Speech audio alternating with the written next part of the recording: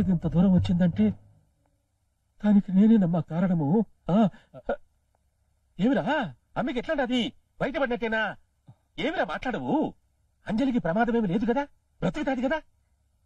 మీరు అనుకున్నట్టు అంజలిది ఆత్మహత్య ప్రయత్నం అయితే నేను బతికించేవాడిని కానీ క్యాన్సర్ పేషెంట్లను బతికించే శక్తి మా డాక్టర్లకు లేదు బాబాయ్. అదేమిరా?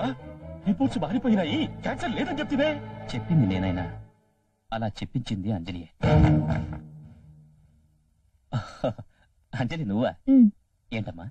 ఈ టాబ్లెట్స్ ఎందుకు వాడతారు? ఆ, బలం కోసం అమ్మా. క్యాన్సర్ పేషెంట్స్ కూడా వాడతారు కదా. చెప్పు. నోనా ఇది జనరల్ స్ట్రెంత్ వాడతారమ్మా? డాక్టర్గా చెప్తున్నావా? అన్నయ్యగా చెప్తున్నావా? ఎందుకు అన్నయ్య నా దగ్గర దాస్తున్నావు? నాకు క్యాన్సర్ అని తెలుసు. త్వరలో చనిపోతానని తెలుసు. నువ్వు భయపడతావని బాధపడతావని ఈ విషయం నీకు చెప్పొద్దన్నాడు బాబాయ్. నేను భయపడాల్సింది నా గురించి కాదు డాడీ గురించి. నన్ను ప్రాణానికి ప్రాణంగా చూసుకునే డాడీ నా ప్రాణం మీదకి వచ్చిందంటే ఎలా తట్టుకోగలరు? ఇన్నాళ్ళు ఈ బాధను తన మనసులో దిగమిక్కుకొని నీ ముందు సంతోషంగా ఉన్నట్టు నటిస్తూ తనలో తాను కుమిలిపోయాడమ్మా బాబాయ్. డాడీని ఇంత బాధ పెట్టినా ఒక రకంగా నేను అదృష్టవంతురాలనే అన్నయ్య. చావు గురించి ముందుగా తెలియడం వల్ల కొన్ని ఉపయోగాలున్నాయి. చేయాల్సిన పనులు ఏవైనా మిగిలుంటే అవి పూర్తి చేసుకోవచ్చు. నేను చేయాల్సిన ఏకైక పని డాడీని సంతోష పెట్టడం. దానికి నీ సహాయం కావాలి. చెప్పమ్మా నేనేం చేయాలి? నాకు క్యాన్సర్ లేదని రిపోర్ట్స్ మారిపోవడం వల్ల పొరపాటు పడ్డామని డాడీకి అబద్ధం చెప్పాలి. నాకు క్యాన్సర్ లేదని తెలిస్తే కనీసం నేనున్నంత కాలమైనా ఆయన సంతోషంగా ఉంటారు. ప్లీజ్ అన్నయ్య.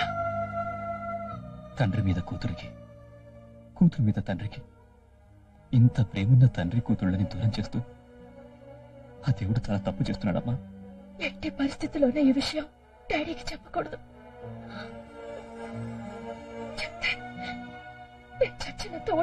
అంజలికిచ్చిన మాట కోసం ఇంతకాలం ఈ నిజం మీ దగ్గర దాచిపెట్టాను. కానీ ఇప్పుడు అంజలి ఆయుష్ రోజుల నుంచి గంటలకు వచ్చేసింది అందుకే ఆ నిజం ఇప్పుడు మీకు చెప్పక తప్పలేదు. డాడీ. అమ్మా అమ్మా అమ్మా అంజలి. ఏంటి డాడీ?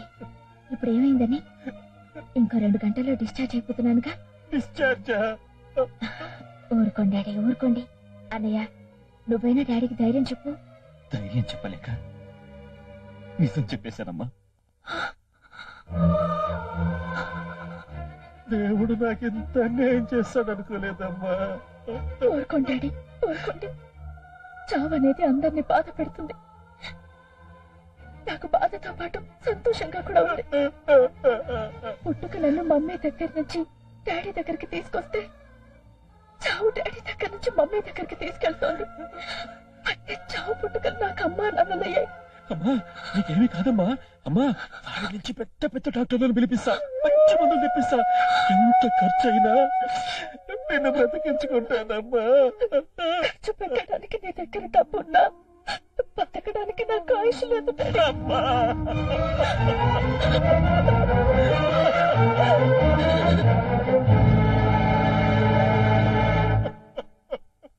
అప్పు అందరినీ నవ్వించే నీ కళ్ళలో కన్నీళ్ళ? కన్నీళ్ళు చాలా విలువైనవి అంటారు. వాటి విలువేంటో నాకు ఇప్పుడు తెలిసింది. అప్పు నా సంతోషం కోసం ప్రేమ నాటకం ఆడుతున్నావని తెలిసాక వెంటనే ఆపేద్దాం అనుకున్నాను.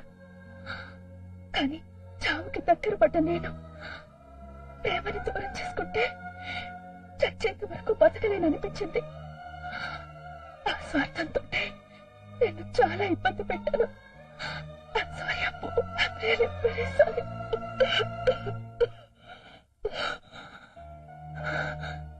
భర్తని ప్రేమించి నీకు ద్రోహం చేశాను. నన్ను క్షమించండి. ద్రోహం చేసింది నువ్వు కాదమ్మా. ఆ దేవుడు. ఏ దేవుడైనా కరుణించి నీకు ఆయుష్ పోస్తే ఎంత బాగుండు? వద్దండి అలా జరిగితే నీ పసుపు కుంకుమలకి పోటీ వస్తానేమోనని ఆ దేవుడు ఇలా చేశాడు. నీ ఆయుష్ ఖరీదు నా పసుపు కుంకుమలైతే అవి ఆనందంగా నీతో పంచుకుంటాను. నీ మాటలు వింటుంటే నాకు బతకాలనిపిస్తోంది రెండు నెలలుగా చావుకి సిద్ధపడ్డ నేను ఇంకో రెండు గంటలు చనిపోతాననేసరికి బతకాలనిపించడం చిత్రంగా ఉంది కదా. ఈ రెండు గంటలు ఎలా గడపా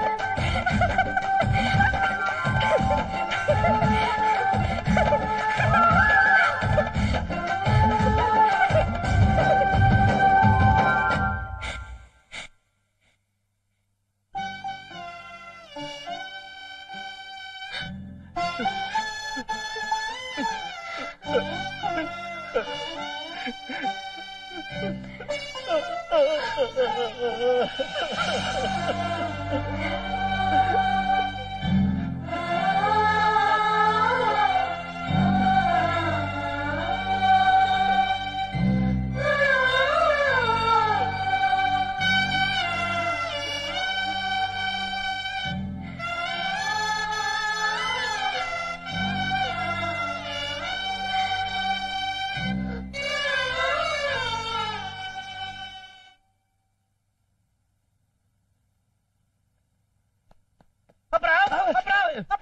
ఏంటయ్యా ఏమైంది? మనం కేసు గెలిచేసాం ఇదిగో judgement copy thank you thank you thank you చెప్పవలసింది మీది లాయర్కి కాదు మాది లాయర్కి. ఎందుకు అంటే ఆమె చాలా బాగా చండాలంగా వాదించారు కాబట్టి మీరు గెలిచారు.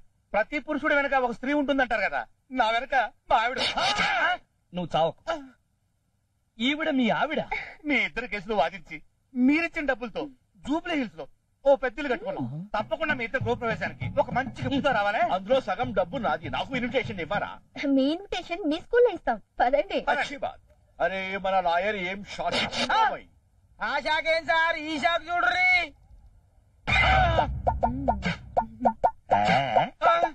మేడం మాట మీద నిలబడ్డా సార్! అల్లుడు!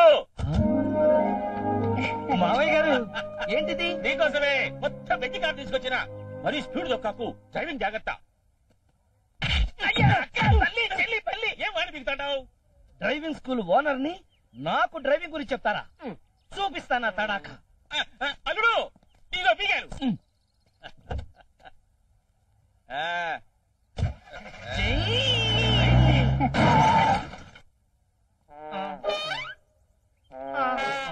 ఎవడబ్బా వీడు?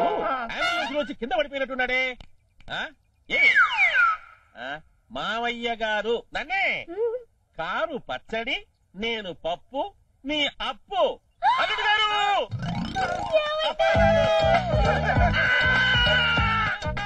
ఏమండోయ్ నా గొడవలో పడి మీ లైసెన్స్ సంగతి మర్చిపోయాను. రేపు తప్పకుండా ఇదే థియేటర్కి రండి మీ లైసెన్స్ రెడీగా ఉంటుంది. మీ అప్పు అప్పారావు.